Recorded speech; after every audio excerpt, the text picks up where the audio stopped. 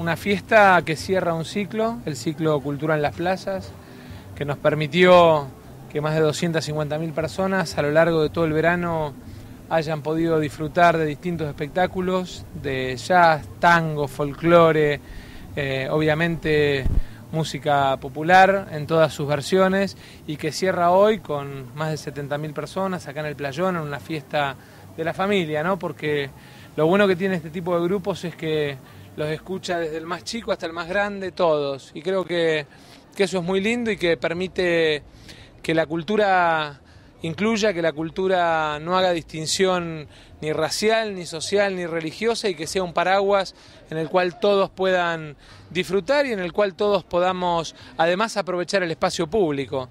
Disfrutando con la gente eh, como pasó hoy, eh, gente de todas las edades, estos eventos nos encantan por eso, eh, aprovechar el espacio público y disfrutarlo con abuelos, nietos, hijos, sobrinos, así que espectacular, muy contentos y esperemos se repita. Nada, estoy chocha, la verdad súper agradecida con la gente de Tigre, con los chicos, con el municipio, buenísimo. Tocamos en diferentes eventos y esto quizás es lo que más nos gustan porque puede disfrutarlo desde el más chico hasta el más grande. Reúne a toda la familia. Claro, una familia le da la posibilidad a cualquiera venir que no haya que pagar una entrada. Muy lindo, muy lindo realmente. Está muy bueno y además súper organizado, la verdad que muy bien. Está muy bueno, la verdad, me re gustó y espero que sigan viendo más bandas así. Re bueno, re bien y la están pasando re bien. Un buen cierre de, de la temporada de verano y un buen comienzo de lo que va a ser el trabajo en talleres culturales, el trabajo en todo lo que tiene que ver con, primero, la recuperación del espacio público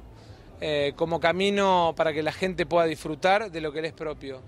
Y después en lo que tiene que ver con seguir apostando a la cultura como elemento de integración. Nosotros apostamos a que la cultura sea de acceso gratuito porque muchas veces, si no, lo que termina pasando es que la gente no lo puede disfrutar.